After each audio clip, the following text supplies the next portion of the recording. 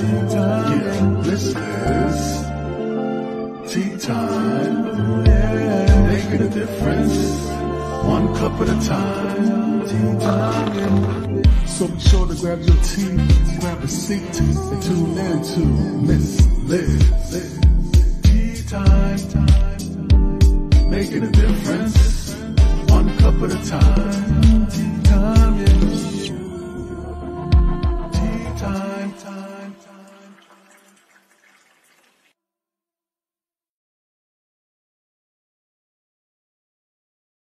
Well, welcome to Tea Time with Miss Liz. That's right, it is tea time again. And if you haven't subscribed to Miss Liz's YouTube channel, run over and subscribe to Miss Liz's YouTube.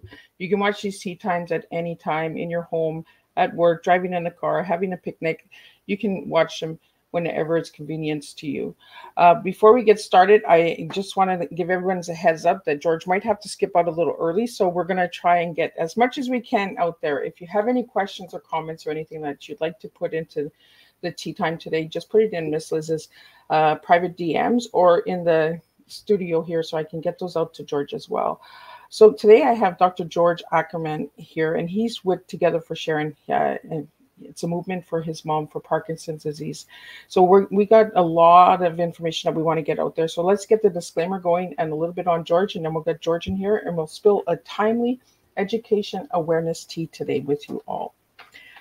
Disclaimer for Miss Liz's Tea Time Live Show. Miss Liz myself is going live using StreamYard. Before leaving a comment, please grant StreamYard permission to see your name at StreamYard.com. Please be advised that the content brought forward for any Tea Time show hosted by myself, Miss Liz, is always brought forward in good faith. However, may bring forward dialogues and opinions that are not representative of my platform. The facts and information are perceived to be accurate at the giving time of airing. All tea time guests and audience participants are responsible for using their good judgment in taking any action that may relate to the discussion. The content brought forward may include discussions for some where they may be emotionally at risk. It's significant to know that this show is engaging in discussion forums only to offer us, offer and inspire awareness and connection, and is not providing therapeutical advice. If you have any questions about the disclaimer or the panelist discussion, you may freely contact me, Miss Liz, through my email at bookymissliz at gmail.com.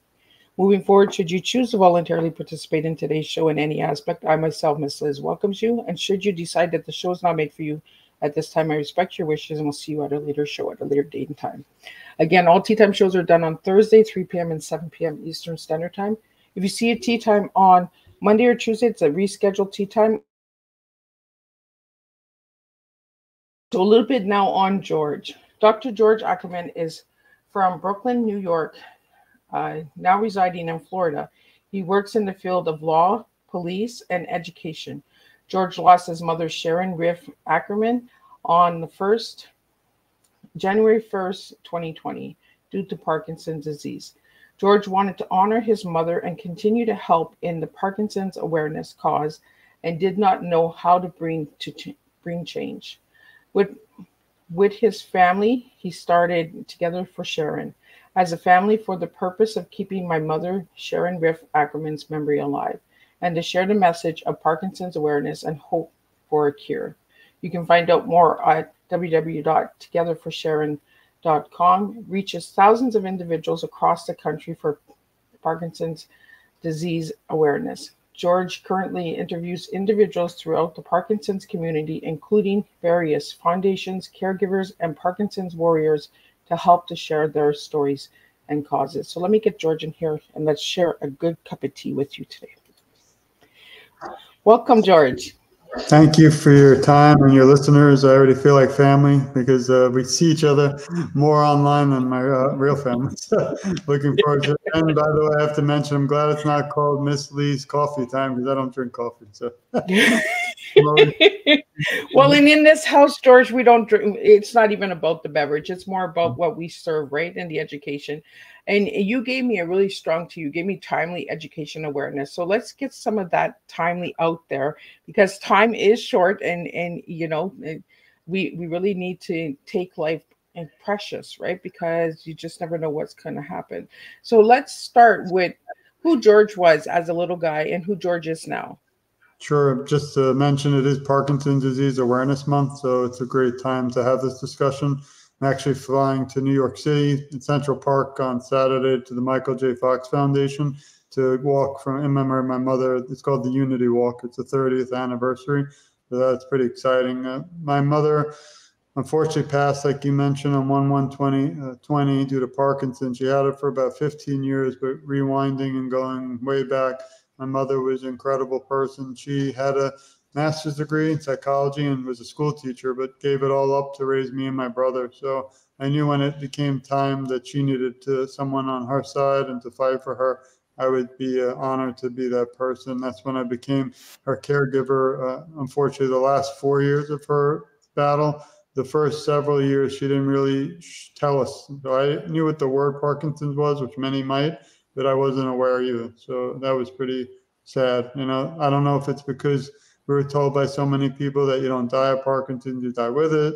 I don't know how it sped up so quickly, but it is the fastest growing neuro- neurological disorder in the world, not just the US. So we really need to bring change. And again, I wanted to thank you and your audience for the time because uh, it just means the world to me and my family. George, uh, the one question uh, that I have here is how come there's not enough awareness about females with Parkinson's disease? It's interesting you say that because right now is a big push to get more out there in the world with uh, females of Parkinson's and also to make sure people are aware. Is a misconception that it's the elderly man disease, but that's not true. It never really was. It started back many, many decades, centuries ago with Mr. Dr. Parkinson's, who was the first signs of Parkinson's, and they actually named the, uh, I don't know if that's a good thing, but the disease was founded and named after him. And uh, for many, many years, they thought it was just an older man who can get it. And again, you don't, uh, it's not end of life, but that was false. So today we really concentrate on more on females and also things like young onset Parkinson's. So people can get it, unfortunately, at age 30, younger. Uh, so Michael J. Fox, the famous actor from Canada, many of you might be aware of, he actually had in his 30s. So he's still struggling today. I had the honor to meet him a few months ago. And it was kind of incredible moment, but also deeply sad because when I saw him, he was struggling, and it kind of brought me back to you know the time of my mother when she was struggling. And even though I'm 6'2", 200 pounds in law enforcement, I had to go to the bathroom and started falling apart because I just hate what this disease does. And when my mother passed, we were still in, I'm still in shock four years later, still grieving. So being with you today and your audience actually still helps me and uh, you know, just we need to end this disease. And I fight today in her memory, but for all those still struggling and also the caregivers and in memory of all the people we've lost uh, who lost their battle. You know, I always say Parkinson doesn't define a person, but definitely can take a take a loved one, even if they're still physically there. It's a movement disorder, and it can really cripple a person. I know a lot of people who now become family in the Parkinson's community who had to resign their jobs. They my mother, even when she was going through it, she didn't want to burden the family, I believe, but she didn't tell us. So I don't know if we could have known about it earlier, maybe, or maybe she wasn't diagnosed early enough, or maybe I could have done a little more. But you know, you can't have any regrets, and I would have done the same thing today as I did uh, several four years ago because there's really nothing left. We tried everything except there's no cure. So, George, how did you find out that Tom had Parkinson's? Yeah, both towards the like for the last four years I took over, but a year before she had trouble in her left arm, so it was very stiff. So for the that year she had trouble uh, eating out, so we would go out to restaurant and we might sometimes we had to help her cut the food, but she never really uh, showed signs that she couldn't live independently. You know, she still lived alone. She did her grocery shopping. She saw her friends. She did her hair. You know, the beautiful female things that I can't get into because I'm a man. But uh, she still lived a nice life. But again, we tried everything. So we tried 15 doctors. We tried this. We tried, you know, chiropractors, massage therapy, active, everything you could dream of. It just didn't work. Uh, finally, she went to a special study. And that night was the night it changed our lives forever. She came back I won't say the school or anything because I don't blame the doctors. I blame the disease. But she, uh, I, I, was called to her home at 4 a.m. And uh, again, I'm never, you can't train or prepare or take a course on this. And she had been moving her furniture out of her home in fear that there are Nazis inside. And I was like in shock because I don't even know what's going on. I, again, I don't, you know, I wasn't trained for that. So I found out she had late onset dementia on top of the Parkinson's, and that brings hallucinations and delusions. So on top of the Parkinson's, which is, again, Parkinson's brings a few things. Usually, uh, in uh, she had internal tremors, but more external. So you'll see the uncontrollable shaking, like Mr. Michael J. Fox has. Uh, also, the the rigidity in the body. So there's actually times where a person might feel like they're frozen. So they literally they want to move, but they can't also the dystonia, dyskinesia, where the toes curl and you know you can't stop it. So those are some of the symptoms. Of course, as it progresses, this the individual can lose a, a voice or they start talking very like whispering. Uh, and then also the stomach. My mother's stomach was another kind of disaster because all the medicines and things really kind of destroyed her body. Uh, you know, they might control the tremors, but then they do other things. And when she passed, we had five huge contractor bags of uh, black, huge garbage bags of medicines that we threw out. And there's no way that that can be, you know, positive or healthy for any human being. So, George, I watching your mom go through this. How was it for you as a man?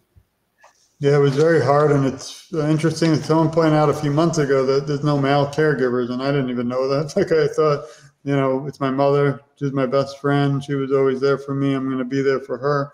But uh, you know, it was definitely a challenge. Uh, I couldn't go into the female areas like the bathroom, and then we had to have staff there, kind of to watch over her. I swore I'd never put her in a home, so she was never in a home. She was in her own.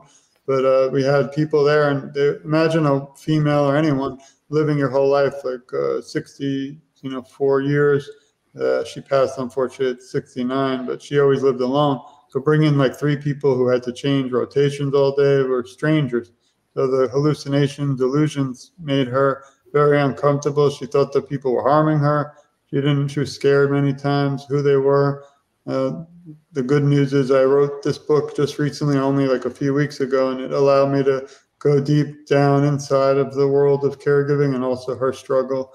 I have a little passage, if you don't mind, I can read. But uh, absolutely, this, yeah, one chapter I literally wrote a journal, and I never shared it with anyone, but I decided it's time, and it goes through the last year of our life. So, uh, but on September 14th, 2019, I wrote this: uh, "Mom may have had a mini stroke. Every time I can think, uh, I think it can't get worse. It does. Six months ago, she was okay." But now daily she seems to decline more due to this horrible disease. She refuses to get a brain scan, and now I cannot do almost anything without assistance. It's horrifying to see my mother and best friend continually degenerating. So that's again just a quick excerpt, but I never did that before. I think it's pretty cool I can do that. I didn't have a book right, so and uh, you know, but the, the sad thing is that you know, like I said, I could never remember that because part of my brain doesn't want to. So it, definitely a nice reference for me. But the book is, uh, if we get to later, it's very important because it does bring awareness. And there are tough times in there, but the end chapters show that there's a light at the tunnel of darkness and good things do come out of it. Uh, again, I lost my mother and best friend, but I've made so many incredible people like you and your audience and all those uh, 1 million still struggling with Parkinson's in the US and 10 million throughout the world. And I've interviewed 600 people from Africa, England, France, Spain, Italy, Iceland, and even Nova Scotia. And I could tell you the Parkinson's does not discriminate. It can affect anyone uh, and everywhere. So that's what drives me today is, uh, again, inspiration, seeing other people doing some incredible things. They have one person that climbed Mount Kilimanjaro for Parkinson's awareness. They have boxing, punching for Parkinson's. You have Drive Toward a Cure, so driving for Parkinson's, who just had an incredible event, and we support them. They had Muhammad Ali's daughter was there. The famous car racer uh, Shelby was there. James Brown wife was there, and Vanessa Williams. So it was a star-studded event, and it's just beautiful that these individuals and celebrities are also uh, becoming aware. And unfortunately, some of them have been touched by Parkinson's, their family, the fathers, and uh, I had the lucky opportunity to meet Michael J. Fox, like I said earlier, but also uh, Kenny G was my mother's favorite musician, the saxophone player. He actually did a song and wrote a message or played a message for my mother. It's on the website. I also had Jack Osbourne because Ozzy Osbourne's struggling today with Parkinson's. He gave us a message and also uh, interviewed Muhammad Ali's daughter. So there's a lot of people that you know are becoming aware more and more now. And I don't know if it's because of our work or that the unfortunately again I hate saying unfortunate, but it is that uh, the disease is just growing more and more. Oh, I, n- I never knew that Ozzy Osbourne had Parkinson's. So when how did you find that out, George? I mean, it's kind of been spoken a little bit about. He mentioned it, but he's not doing well. Uh, oddly enough, I actually reached out to a few people, and one of them was Richard Lewis, the famous comedian who li- literally just passed away due to Parkinson's a few months ago. I had been speaking to his agent to interview him, and they said right that moment he's busy, but maybe in the future. And then I, to my shock, I put the news on, and there you go. It said Richard Lewis, famous comedian from Curb Enthusiasm and some incredible stand-up comedy, just passed away, and I was shocked because I didn't. So obviously they didn't want to share. Uh, you know, it's, again, that's why uh, Michael J. Fox is my hero because he could have kind of went quietly away and did his own life, but he didn't. He fought back. He advocates, and he still fights today. He's raised over two billion, not million, two billion dollars for research. And just last year, they had a groundbreaking uh, change in science. It's called a biomarker. And now, for the first time ever in history, there's a way to have a needle, which isn't exciting in your spine, but it it might be able to determine if you have Parkinson's. So now that's great because it helps early diagnosis. It doesn't cure it, but at least seeing you know some uh, groundbreaking research is important because you know we always see all the, you know we're donating, we're fundraising, but where is it all going? So that's really good news. And the other thing that's very important, which you and your audience can actually join in if you're in the U.S., the National Plan to End Parkinson's Disease passed last December. The first bill in U.S. history, which is kind of sad in my opinion that this is the first time we have a bill, uh, but it's going to provide federal funding for research for those diagnosed, for awareness, and it's uh, now heading to the Senate. And I had the opportunity to, uh, I interviewed United States Senator Rick Scott a few weeks ago it's on my website under the podcast, and it was really an honor to speak to him because they're very busy. And just in fact that he's spearheading this with the Michael J. Fox Foundation and even gave us a little time to talk about it, you know, meant the world. So every this is the first time if we meet again, like in a year or two, hopefully it'll already pass, and we won't be able to tell your audience you can actually be a part of it, but you can right now. So please reach out to your U.S. senator, tell them you want them, and tell them, demand them to urgently uh, support the national plan to end Parkinson's disease because it'll change the world for so many. So, is that part of the national plan to end Parkinson's Act? That is it. Yeah. And actually, I, I, had found that on your website, George. Yeah, it actually mirrors it. Um, again, Alzheimer's is even more devastating in a way, not to the people with Parkinson, but it uh, reaches more people in the world. And we had, uh, I was told that the national plan for Parkinson to end it kind of mirrored the Alzheimer's. So they're leading the way, and we're trying to also get some attention. And it's very important that this passes. Plus, I hope if it passes in the U.S., that other countries will take it as a boilerplate like plan, pass it in their country. Because I had the opportunity to speak to Parkinson's UK and uh, Parkinson's Africa. I mean, it even touches you know individuals in Africa where they actually think there's a misconception that Parkinson's disease is witchcraft, which is shocking because it's not. So that you know we have a lot of work still to do, and this is just the groundbreaking you know time for the national plan. Wow, great! I, I'm I'm so glad that you're here today and you're giving this information out there because I think it's deeply important that somebody who has lived it and and, and a caregiver of somebody who has gone through it brings the best education to the table you know, yeah. because you actually experienced it. Uh, I want to talk about the book a little bit, George, because the book is called The Son's Journey. So it's your journey. So, as somebody who had seen his mom go through this and not see the female advocates out there, because I, I don't see any spokesperson for a female, are, are you looking to make your mom that spokesperson? Yeah, I mean, I, do everything in her memory. I want to. Uh, now she would be more the person, kind of, you know, that again, everything I do is geared around her. But there are people, unfortunately, again, uh, with Parkinson's who are female, and they are spearheading more about it. There is, a, I believe, the Women's uh, Brain Project is one organization, and it's not easy. I mean, I definitely interviewed a lot of females with Parkinson's, females who uh, caregivers, and also females, unfortunately who pass. That stuff they are fortunate, but this is all not. You know, it's unfortunate, but it's uh, so I have been able to shed some light. That's why I decided two years ago. Uh, it's not just about my mother and I; it's about everybody, and we're all family in this fight, including all of you. And if we even reach just one person today together, then we've changed the world for the better. But I, that's why I decided to go on that mission of 600 and interview people because I feel there's so many inspiring people, but people just aren't aware. So every morning I wake up, if you go to togetherforsharon.com, click interviews, everything's completely free. I did it all free. It was not easy, obviously, and uh, I don't. We don't accept money. So if anyone wants to donate to these organizations, you can go to our site, click donation, and the most amazing thing is uh, we support a lot of organizations. But for example, you can donate to Michael J. Fox Foundation, and they created a link in my mother's memory. that all the proceeds go to them, so we don't take a penny. Like if you send me a penny, I'll send it back to you, even though that might cost a lot. not, that's not why we're in this. Even the book, I, I don't make anything because we spent a lot just making sure it's good and things. But the book means a lot to me. Uh, even looking at the cover sometimes tough because I was uh, the mother and son dance at my wedding, one of my most favorite days in my life, and that was like three minutes of our life where Parkinson's disease didn't exist really. My mother and I talked, we laughed, we joked, and you can see her shining in a way, like laughing. And it was just like in that moment, it was like a movie where nothing else existed. And I wish sometimes hard to talk about, it, even the cover, because I wish we could go back to that. But that was, you know, just unfortunately our scenario. She always used to say, Is she going to be here for my daughter's uh, wedding and all these things? And I could never tell her because I didn't know. So it was just very, very difficult. So George, uh, on your wedding day, did your mom was your mom diagnosed with Parkinson's then?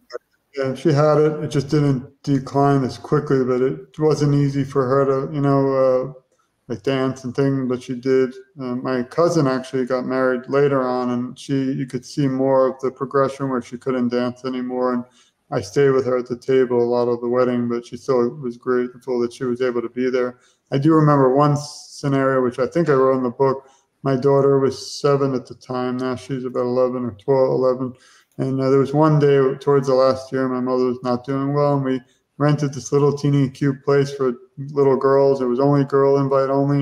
And they all did makeup and did a little walk on the dance. Like they have like a little walkway. It's cute. I forgot the name of it, but that was one day that my mother would have like just loved, and she wasn't able to be there.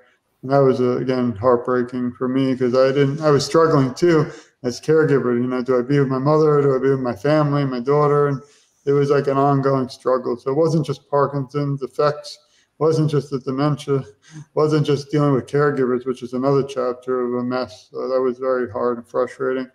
And then on top of all that, my own health kind of suffered, my own family. Thankfully, I have my wife and children who supported me even today. So it's kind of an interesting shift from caregiver to even today advocate. As you know, I'm just going, going, going. I have, you know, I still am professor. I work around the country and uh, I'm unfortunately having a major back, third back surgery. That's a different tea talk. uh, but uh, so, you know, I don't want to miss our talk because this is important to me. And again, like uh, I feel like we're family because we see each other so much online, which is incredible. So the nice thing is with virtual, you get to do these things, which is just incredible. I love it. But then also because it's Parkinson's Awareness Month, I kind of went a little overboard. But this month we've actually been live. We were at the Michael J. Fox IQ event, which was for the community, uh, the end of last month. And the beginning of the month we were at Parkinson's Foundation Walk, and we actually were on TV, which was really uh, cool. and then we uh, went to the American Parkinson's Disease Association Symposium, and I got to speak to some incredible people in the community. And now we're uh, flying to the Unity Walk. So this will kind of conclude. They don't really do a lot of live things. It just happened to be this month, uh, uh, but it was a lot. I mean, I loved every moment. Kind of, you know, definitely as an advocate, burnt that every time I'm tired or I feel pain in my back, I think about all those people struggling and the families and all those we've lost. And I even filmed a video, if you saw a few weeks ago, where I'm laying down, almost crying in back pain, and on the video, I just get up and keep fighting because there's no, my back pain is one thing, but I can live and still do somewhat things. But people who have Parkinson's, unfortunately, they can't. So I'm going to keep fighting in my mother's memory and all those who we've lost until we find a cure for those still fighting and for the future. They don't know why you get Parkinson's or how. It's not supposedly genetic, but we don't know. I do think, and I agree with a lot of the experts, that it's environment. So the water we drink, the pesticides they put on the fruit at our grocery stores. I was shocked to find out the other day that even the cleaners they use these horrible sprays. So I was interviewing a doctor, an expert, and he was telling me that while I had a suit, and I was like literally the whole interview. I didn't know how to say it. I wanted to throw the suit on the floor and burn it. You know, but it's uh, it's fun, but it's sad because all the stuff like, the government needs to get involved. They don't. There's something called paraquat, which is banned in China, but not in the U.S. It's poison and it can cause Parkinson's, and also people are probably tired of it. But you might have seen the ads for Camp Lejeune. Uh, there was a famous military base where families and those in the military were getting Parkinson's and other diseases they think that the water was contaminated. So the government can really step in, but they're not going to do that unless we all take a stand and we unite. And the great thing is that even the national plan and all this to end the, end the disease is bipartisan. And as you probably are well aware, nothing today is yeah, nothing we can't all agree on, which is pretty frightening. But this, I hope we can. George, we have a couple questions here, and you you got into a little bit of it, but I want to get these questions out there for you. Uh, is can can you get Parkinson's because your mom had Parkinson's? Yeah, that's a great question. Again, they don't think it's genetic, so I can't say for hundred percent sure. I mean, I hope I don't. I know people who have family that don't have it, but then I've interviewed people who have generations of family who have it. So I would say no, but it is a weird thing. Like right now I don't have Parkinson's. I'm no longer a caregiver of someone alive with it. And I'm actually finished my second book, which I'll probably wait a few years to put out because I need a break. But it's actually, this one was based around my mother's memory and also for those diagnosed and to see the journey. But I often am forgotten, in my opinion, because I'm part of the representation of all the loved ones still out there but lost their family member due to PD. And there's probably 10 million or more people like that. But a lot of people, like you, I'm sure are aware, they just kind of, you know, move on and they have to get back to life. I wasn't brought up like that. I was brought up to keep fighting. And I feel like my mother lost 15 years of her life and then 15 after. And I don't feel that it's time to, you know, just kind of throw in the towel. I don't want anyone to have to go through what we did. And that's why I keep fighting. In the next book, I might be naming a seat at the table because no longer do we have a seat at the table for my mother due to Parkinson's. And many days I feel like I don't have a seat at the conversation because uh, we have, I have a lot of examples. I won't get into it, but there was once an organization, again, I don't name them, but I got an email from them. I'm so excited. It said, apply here, write three pages, like structured essay. And, and my professor background research, I had APA format. I was really into it. I had videos, everything. And then I went to, uh, so they, they want you to, you know, apply to be on some kind of like you know, on their organization. I won't get too many details. So I wrote this beautiful three-page thing. I'm so proud of it, and I figured I'm not going to get it, but that's fine. I didn't want it. If I can't get it, at least I'll know someone like me is out there. So I was all done, excited, ready to submit it. And guess what? There are only two buttons. One says you have Parkinson. Button two or B was uh, you're currently a caregiver of someone alive. Well, where's C? So there you go. Uh, and that kind of upset me. So I know one week I knocked out a 200 page book on it. It also followed all the experience I had the day I became an advocate, because as you know, sure too, some of the social media is not the easiest thing. I mean, I, I needed help. I felt alone. I went to Facebook groups. I found a lot of hateful people, which is sad. Uh, and I write about that. And, you know, I, one lesson I learned is no matter what some stranger or even someone you know says, you always have to do what's in your heart and you have to keep fighting. So I've come such a long way from that day. Like, you know, we had together for Sharon then four years ago, we thought three people would see it. And now today we've had over 40,000 people. So it's just been a, a incredible, but we still have so much more work to do. So George, is there any testing that they can do on you to find out if you are that you have a chance of getting it? Yeah, the newest breakthrough was that biomarker we mentioned earlier. So they do have a needle, but it's very invasive. And if you don't want a needle in your spine, I don't think that's the way. So what they're trying to do is turn that into a simple minor blood test like we have for any time you go into every doctor's office. So that's something that is exciting. But right now, if you go to a doctor, there's no test for Parkinson's. What they do is They'll do several other tests like neurological. So you have to see, a, and again, I'm not a doctor in medicine, I'm only a professor. So uh, criminal justice and, uh, and law enforcement and law. I only talk about my experience. That's why I like your disclaimer because I'm an attorney. So I commend you for that. but uh, so you go to movement specialists, neurologists, and they do several tests for other things. And then if you don't have those things, it's Parkinson's, which is not the most effective thing. So there are people still today, as we sit here talk, that are being misdiagnosed, as people being late late diagnosed or not diagnosed at all. And that's an epidemic because the only way we can help people uh, slow the progression is to properly, uh, you know, find out what they have. And that is the only good news is you might not, you might not have a cure yet, but we do, uh, you can slow the progression. For me and my mother, it was too late, I guess, it just, that's what it was. But things now, like 45 minutes of exercise a day, eating healthy, uh, but exercise number one can definitely slow the progression of this disease. So those are the biggest things. And like I said, they have ballet for Parkinson's, they have uh, yoga for Parkinson's, they have Tai Chi for. I mean, they have like everything. But what I what I love about TogetherForSharon.com, even though I'm the, it's just me. Like we're not a foundation. I always have to tell people it's just me because I don't want people to think we're this. Like, people come to me and they say, uh, "How do you do all this? You're a mega organ." I'm like, I, no, I totally get that, George, because a lot of people. I, I, totally get that because a lot of people think Miss Liz has a big team herself. I'm a one person team. I do everything. I do all the marketing. I do all the booking. I do everything.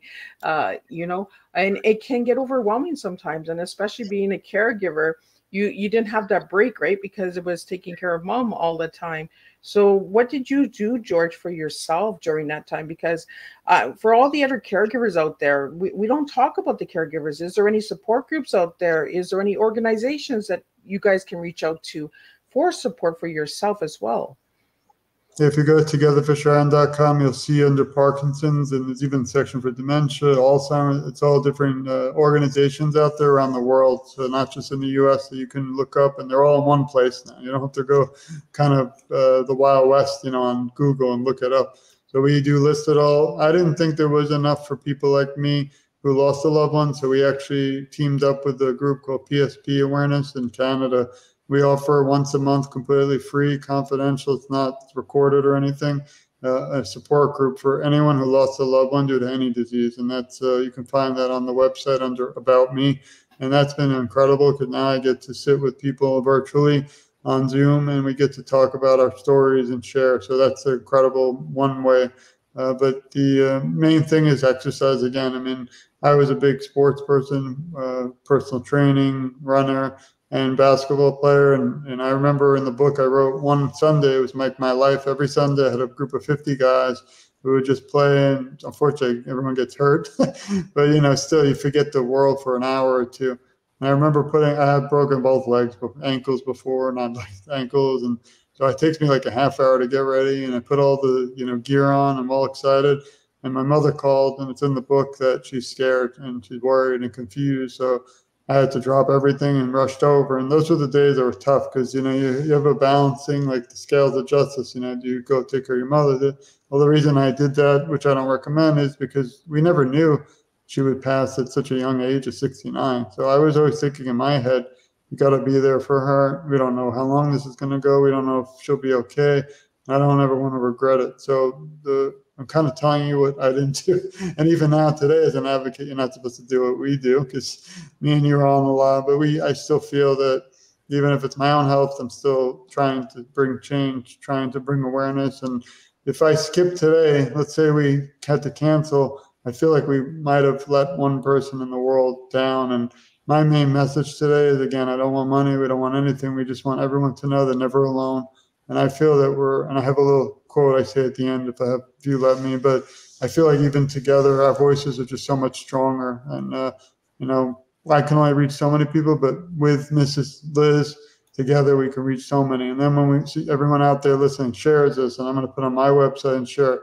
We, we can reach like a millions of people. So it's not that hard and no one has to pay anything. It doesn't even take any time to press the share button. Like I share all your stuff all the time. It's just a quick even to your story. Don't share it everywhere. But you don't have to tag anyone or any of that stuff, which is you know the big thing. But I just think it's hard. So again, as a caregiver and as an advocate, you have to take a little time for yourself with your family. But I can't really tell other people in their situation because everyone's journey is you know so different. And today, the only journey that breaks my heart are the ones I'm not aware of because there's still people out there. Just take one quick example. Just yesterday I spoke to a couple who actually both had DBS surgery. That's deep brain stimulation. It's for Parkinson's to control the tremors, and they're actually they're going to be they're getting married, but they both had it. So it's like a beautiful story of two people fell in love. Um, they still have to battle Parkinson's, but they're doing it together. And I've been talking to them for a year and we just haven't been able to connect. And I finally called them. We had a beautiful talk. I'm going to be doing a show. They're going to come on our podcast and we're going to just talk. And it's like those are the journeys and uh, that inspire me to keep fighting because I didn't even know about that. And it's it might be rare, but people would love to hear a beautiful love story, uh, even through you know this fight. So, George, we have a question here about your book. Do you want to make your book into a movie one day? I mean, that would be amazing. I don't know how that works. I was lucky enough to get it on Amazon. It's on uh, Ingram Spark hardcover now, and also the ebook is out. We also finally did an audio version, which is from a professional broadcaster. I don't want my voice on, but I, I mean, I, I, actually thought about that once, and I don't know how to do it. If someone ever sees me and hears our story, I think it would be an incredible thing. And they are making more movies. I remember there was recently a movie out there. I forgot who the actors were, but they were fighting on the scene about Parkinson's and how the female actor was struggling and the male was didn't understand. And even Harrison Ford was recently a psychologist in a TV show, and he had Parkinson's. Uh, just a lot more Parkinson's coming up. Michael J. Fox had the movie. I believe it's Touch, I think, uh, or if you look it up on Apple TV, it's out there. Uh, and it's uh, it was last year, and that was an incredible move. First one ever, really, to concentrate on Parkinson's awareness. So, if someone's out there listening and would like to, I would love to. I just don't, you know, I wouldn't know. I don't have the resources. So. And we have a comment here. Uh, advocates seem to forget that they need to take care of themselves as well. Uh, as an advocate myself for a lot of uh, things uh, that I've dealt with in my life, uh, George, as as advocates, sometimes we do a lot, right?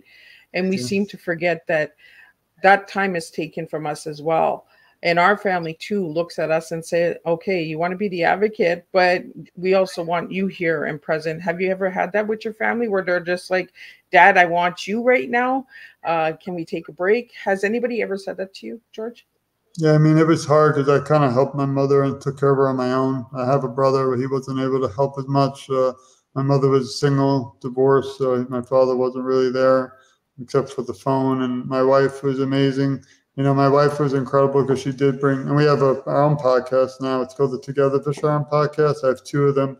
Together for Sharon podcast is, and again, they're all free to listen to. Is actually my wife and I. We only do it once a month because she's busy with our three kids. But it's very interesting because it's a female perspective of caregiving too, and people love it. So those are, uh, and then I have Q and A with Sharon's son George that's where I go one on one with people. I do. I'm doing way too many of those. Like we're doing every week seems to be, and I can't. I don't know how you do it, but it's not. I love doing it, and, um, but I'm, afterwards I'm kind of lay on the floor. I'm like, you know, it's draining because you want to. it is tiring. It, it, it is. You know. Hardest is uh, making sure you press record for me. and that's one thing. If I had an opportunity, if I ever look back and had 10 years ago, I wish I had a. We didn't have the technology then I wish I had a podcast with my mother before Parkinson's because now today I don't really have as many memories with her. Thankfully, her sister is still with us and she helped me a lot on the book because I don't have a lot of my mother's you know history. Thankfully, again, it's in the book and I have it forever. But I wish I had a show about just life with my mother. I would have, I could have watched it now. I could have shared it. That's my literal only, only someone asked me that question. That's the only regret. It kind of keeps me up some nights about because I wish I had that again, not during Parkinson's. I'm talking about, you know, much earlier, but we didn't have all this technology. I don't even can't believe I still have a show or anyone would even want to watch it. So, you know, it's uh, that's one thing I wish I had done. So, George, do you have any videos of your mom with her voice, with her speaking? Uh, I mean, we have videos. If you follow me, if you go to actually, and you have it up there, which I love. I don't even know how I got a link tree, but it's pretty cool. You can go to Together for Sharon, click, go a little lower on the front page. There's a Christmas tree. You click it. You can follow me on every social media, and I will follow you all right back because I want to. We're a family in this, so I love uh, sharing. I, like we've added each other everywhere, but I think it's uh, important that I. Unfortunately, it stinks. I hate saying the word. I'm gonna have to hit myself saying it, but I don't have as many videos as I like. The last year I videotaped, took pictures, and kept my journal. I don't share that year with uh, anyone because I don't want her to be remembered for that. So I won't share those. But so before the last year, we had, you know, the, the last three years were tough. We have some videos I do share on all my social media. Sometimes I kind of repop them up, but I don't have a lot. Uh, we have like, you know, birthdays. We have one Q on was a memory like uh, New Year's Eve. My mother was so happy. She was kind of hitting the uh, bongos and we were playing and dancing. So that was cute, but I'm, I don't have as many as I wish I did. So. Before you jump out, George, I want to talk about the bands because you have this band for your mom. Uh, yeah. So, can anybody get those bands? Yeah, we actually hand them out. Um, probably won't hand them out this week, but they just say in memory of my mother Sharon inside, and then it says for Parkinson's disease awareness. There's a long story in the book too. It's uh, so my mother passed away out of nowhere. Like we weren't, we were in shock. It was literally on New Year's, so we didn't know what to do. We decided I like to give people something just to remember. So I made these little bands. I thought we'd have like three or four again. There were like 50, a lot of people showed up. It was beautiful at her funeral. And I gave a speech, which I have online. And I was like, I speak a lot, but that was the toughest. I don't even know how I got through it. And I spoke about our life and everything, and it's out there. But uh, so I decided I want to give everyone who attended something. So I gave them all the band, and I thought that would be the end of it. Well, at the time, I was my brother-in-law, but my sister-in-law's uh, boyfriend at the time I don't know why he did it, but he put the band on. He took a picture of his hand and his arm, and he wasn't in it. So imagine I'm not here. But so I, in my brain as a cop and lawyer, I was thinking, wow, that's pretty interesting. Like he has the band and has his hand in the background, and he's not in it. And I thought that's an interesting concept because people don't really want their face all over media because we have privacy and this, who knows who's out there. So I decided, why don't I do that? So I it, it kind of went viral. So I started taking pictures at Disney World, the basketball court. I mean, outside in the wood, you know, the woods, the beach, and it was just so people knew my mother was always still with us. Then all of a sudden, somehow, I don't know if you know Willie Geist from NBC. His father has Parkinson's, but his wife saw it and she talked about it on her Instagram. Then another person, and, and it went viral. Like we had like probably ten thousand people throughout the world wearing them. So it was amazing. It was a great experience. We had to stop it just because it was I paid for everything. Like it wasn't a lot of the stuff too with advocacy. I could probably write a chapter. It's extremely, extremely expensive. Again, we don't we do this all voluntary and I don't accept money, which is why I do it because I do want to help. But I mean we probably spent like fifty, sixty thousand dollars in the last four years on this stuff and gotten, you know, but when I see a person who uh sometimes like we'll do live events, we do give them out for free at the live events But I'll have I'm in the middle of two pharmaceutical companies and they're all selling stuff. So sometimes people will walk by and they're kind of timid. They don't want to they think we're selling something. Then they when they come a little closer and see the banner, my mother and me, and they learn about what we're doing, they cry, they hug us, and we cry. And that's what inspires me to keep going. Because as long as there's people like that out there that don't want to feel alone and don't want to think that no one's out there fighting, then I'm going to keep fighting. So that's the mission forward, and that's my dream is someday to really stop this all. Like I love to go back to my life, but a part of my even my wife sometimes she's a huge supporter, but she struggles sometimes because she wants to see me, and like I'll be on with you, and then another show, another, and I don't even work out much anymore. And now we're going flying literally for a day, which is a little crazy. But for one day, we're flying to New York, going to the Unity Walk, flying right back. There's a lot of money and time, but again, I think you have to sacrifice things in life and I want to. I want my mother to still be remembered because it wasn't her fault. She got Parkinson's. It wasn't her fault that uh, she lost the battle, and I feel that our voices still matter, and she still means the world to me. So until again we find a cure, I'm going to keep fighting. So George, we have one question here. How old was your mom when she was diagnosed? Because you said she passed at 69. So how how long from her diagnosis to her passing? The one area I'm not good is math, so we'll have if you have a calculator. she had it for 15 years, and she whatever 15 minus, uh, 2020, so 15 years before, so approximately.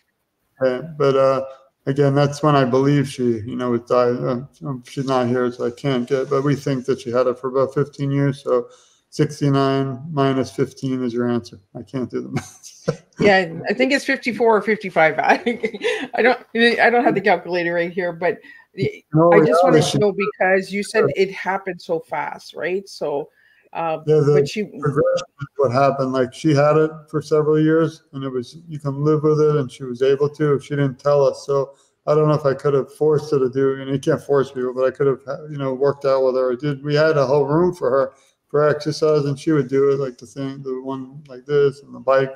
But she went from walking three miles every week to, uh, you know, the last four years she went to a cane for two years.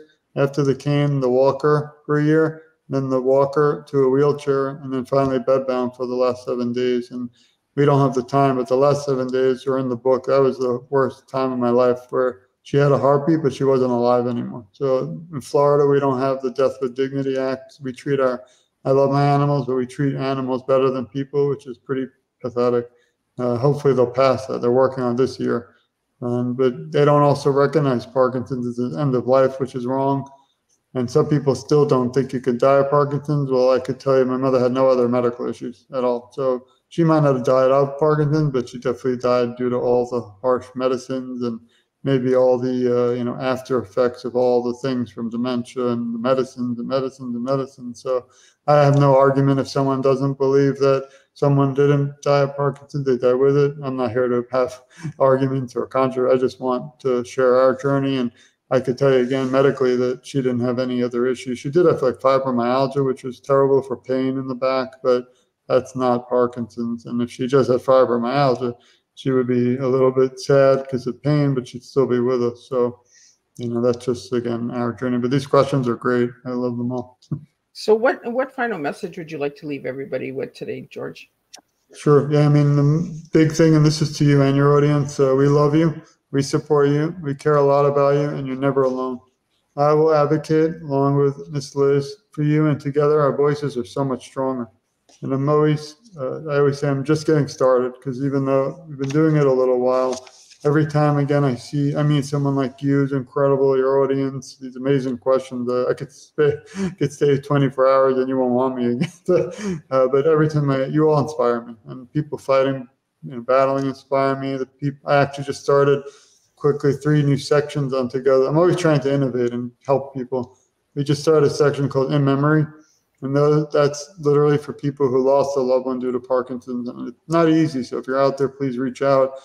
My other interviews are 600 advocates fighting, and that was easy. I had a lot of a pool of people, but this one's hard because the person passed and the loved ones are very difficult to find but I have interviewed several, and they're going to be in the next book, interwoven in my uh, writing.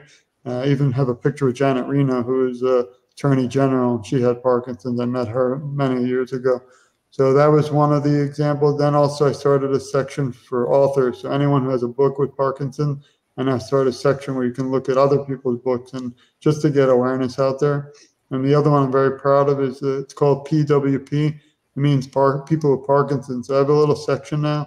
And it, if you're out there and you have Parkinson's and you have a talent like artist or uh, create shirts or anything, a musician, I want, I'm trying to find a way where people with Parkinson's can try to fundraise for themselves and gain the money 100%. So we don't take a penny again. But I want people to be able to pay for their medicines because right now we don't have the national plan and people struggle like just to get medicine. That's not fair. It shouldn't be like that. And again, I love the big organizations, but they might not like if I say it.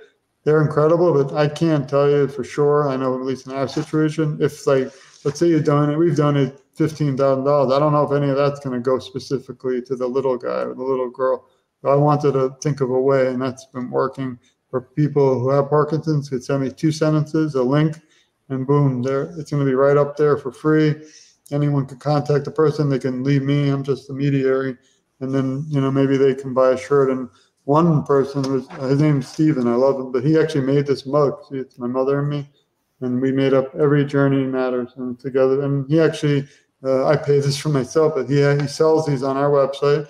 And if you buy them, they're not expensive, and he gets everything fully, and he uses that money to pay for his uh, medicines. He was an, an incredible person. He's uh he's on all the social media. It's called Parkins Shirts, Park P A R K N shirts. He was his whole passion in life was he was a truck driver. And unfortunately, he had to stop. So he lost his whole love and his life.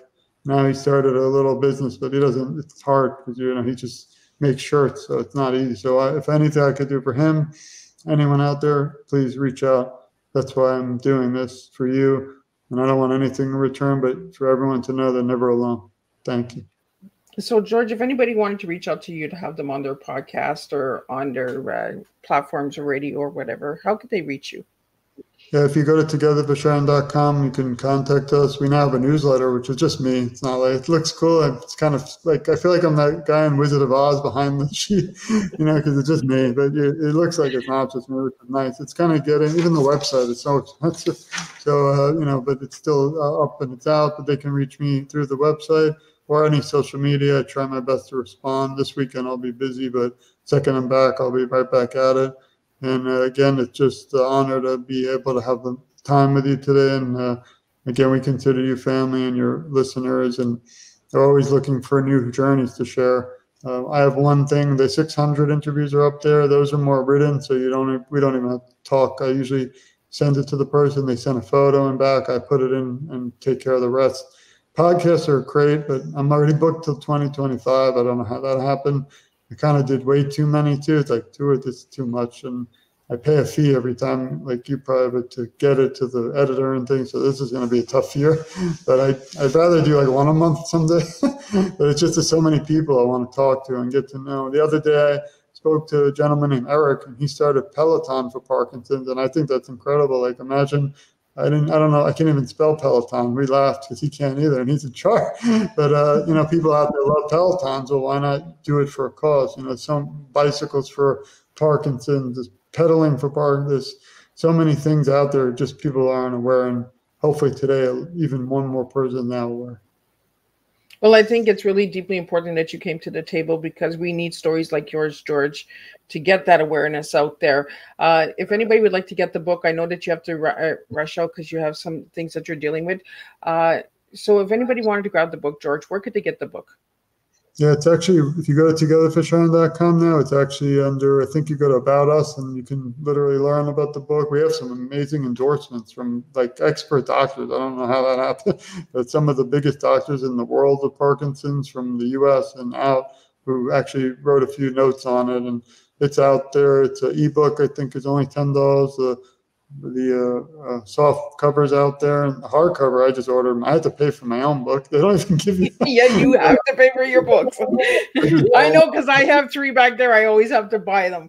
Yeah, and hopefully the the uh, audio book that'll be exciting will come soon a few weeks. And then i'm already on to the next. We actually have four of the books of the interviews coming next so i don't know how i'm going to do it but we're going to take all 600 interviews and release them in book form then I'm writing a kid's book because I had trouble. We didn't even get to it, but my children just struggled to understand what Parkinson's was. So we're doing a kid, children's book. I also have a follow up to this book, which is going to be controversial. So that might be my last book. so no one will want to talk, but that one's going to kind of, my goal is not to start fights, but to break the doors open and to bring people, even the big organizations, I want them to have a, they have no section for people who lost a loved one to Parkinson's. And that's my message. They need to and then I'm actually doing a groundbreaking one, which I'm hoping might be able to change the law. And because I'm in law enforcement, I actually have it here. I shouldn't talk about it because it's going to, this is actually a piece of the, the police academy in Florida, the book, like the training. And right now, as a police officer and trainees, if you read in the training, it talks about dementia Alzheimer's, but doesn't even mention Parkinson's. So my dream is to write a book on Parkinson's and policing because Parkinson's is a motor disorder. So guess what? At 5 a.m. or 2 a.m. or dark somewhere late at night, somebody's driving and they have Parkinson's and they uh, just have a bad reaction, didn't take their medicines, they start shaking uncontrollably. Police pull you over. That's not going to end good. And as you know, and I'm not doing this book. This one won't be controversial. This is more of an awareness. I want the police involved. I mean, it's more of a positive one, but I want them to add Parkinson's to all the academies in the United States Michael J. Fox Foundation did mention if I can get the book out, they may help me sponsor a bill through the United States Congress and the Senate uh, to change how policing looks at Parkinson. Because again, in that one moment, if an officer opens the door and the person's shaking, they don't know if they're drugs, uh, out, you know, who knows, the DUI, and it can end very bad when all we needed to do was be aware. So that's a very epic, important book personally to me that hopefully this summer I'll be able to to start writing. Well, and I think it's really deeply important that you get it out there, you know, because when people hear Parkinson's is uh, d- disease, we we only hear of Michael J. Fox, right? Everyone thinks of Michael J. Fox. Michael J. Fox has lived with this for so long, and a lot of people still to this day don't even know what Parkinson's is You know, Right. they they just see Michael J. Fox's face, but they don't understand the disorder. And I think what you're doing, George, is amazing because you're bringing a lot of resources, you're bringing a lot of education to the table, and you're saying, you know what, we need policies, we need acts, we need awareness, we need the education. Uh, have you talked about getting into schools and all of that as well? To because, like you said, your children struggled with it; they didn't know how to or what it was about. So, how do we educate these children on Parkinson's? Hopefully, the kids' book, which is almost it's like done. I just looking at illustrators, maybe that can help. But the problem is still Parkinson's. It's uh, if there's only a million people in the U.S. affected by it, that, and we have that's not a lot of people in the U.S. But it's so it's one of the fastest growing diseases, neurological. So more now, I'm finding more people are not just getting it, but the neighbors are, the mailman, the friend, and this and that. So we're getting aware like that, and I don't want to be aware like that. I was shocked to find out or learn that there's no other person. Again, feel free to write me if I'm wrong. That when I did my research, no one out there is a son who lost their mother due to Parkinson's who published a book, and that's frightening. I would like more competition because I'm not here for that. I want everyone. So, uh, you know, it's just uh, something we have to keep fighting, keep working. And I always think, do I want my children to continue together for Sharon? And I hope they don't have to because I hope by then we have a cure. Well, and I think it's really deeply important what you're doing, George. And thank you again for coming to my table and bringing this awareness to the table. Because you know what? Without you, George, we wouldn't have a voice for a man. We wouldn't have that uh, that son story. And there might be sons out there that are just too scared to come forward and say, "My mom passed from Parkinson's," because they were unaware and uneducated as well. Until you live it, you can't speak it, right? Uh, so let's get some male stories out there. If any of uh, you males are listening out there and you, you've experienced the loss of your mom or your father from Parkinson's, reach out to George and see how you guys can connect. Uh, reach out to George on his podcast as well. Check out his book. Check out his website. Uh, grab a bracelet. You know, make a donation. Check out what fundraisers are there uh, and support your local communities that are doing events for Parkinson's so that we can get the word mouth out there. Uh, and again, George, thank you so much for joining me today and sharing your story. It, it was really a pleasure. Um, is there any final words you'd like to say before you scoot out? No, I'm not. I just wanted to point out behind you on the floor, there's something that I live by, and the word HOP. That's it. We have to keep hoping. We have to keep hope alive, and all those still struggling, all those families of those struggling Parkinson's, and all the loved ones we've lost. You have to uh, keep hope that we can finally, all together as a community and a family, end this disease very soon. And I'm grateful again for your time and your audience. And again, this uh, I cherish this talk. Again, it's not just a podcast to me; it's actually changing the world. And I want to. It has to be a continual conversation because even if they do pass the law to end Parkinson's, it's not going to mean it's going to be implemented probably. So we have a lot of work still to do, and I really appreciate your time again. Thank you. Well, I think, like you said, we still have a lot of work to do, right? And word of mouth goes really far. So, sharing this tea time with somebody that it resonates with, sharing it with an organization that works for, for Parkinson's that we might not be aware of. Uh, if you'd like to reach out to George again, reach out to him on his website, www.togetherforsharon.com. Check out his link tree. You can find all his social media there. Uh, and check out his book again a son's journey i really hope for your i hope george that your your book gets put into a movie because i think it would make a real huge difference and impact for people to see this see the story uh, you know and again thank you for sharing your mom's story with us and uh, keep keep pushing keep throwing and keep trottling along but don't forget to take care of you too as well george because without you we, we can't do this. So take care of you as well. And i'm sending all my wish and my wishes and prayers to you and safe travels. And again uh your your event that you're reaching out to this weekend could you mention that before you before you leave george? Yeah, it's the 30th anniversary for, uh, you- they used to have something called the Unity Walk, and everybody gathers from around the world to the Central Park in New York City. And uh, I've never been. I just decided a spontaneous thing. We need to be part of this big one. It's the 30th. And unfortunately, due to COVID, it kind of crippled the organization. And thankfully, the Michael J. Fox Foundation picked it up and continuing it on. So it's this Saturday at about, I think, 8 or 9 a.m., just for till 1 or 2 and we come back. But I'm just excited. I'll take a lot of video, share it on all the social media. Not sure if Mr. Fox will be there, but he might be. And and it's always a pleasure to be representing. I love their quote. It's uh, they're going to be there for, until Parkinson does not. It's the same thing I live by every day. So thank you all again. Well, thank you so much, George. And we will be back at 7 p.m. Eastern Standard Time with returning guests from season four. Uh, Charles Brakefield and Rox Berkeley. They'll be here with the Igna series, and we'll be talking about their two latest new books. So until then, I will see everybody at 7 p.m. Eastern Standard Time. And everyone, keep spilling your tea, and let's make a difference one cup of tea at a time.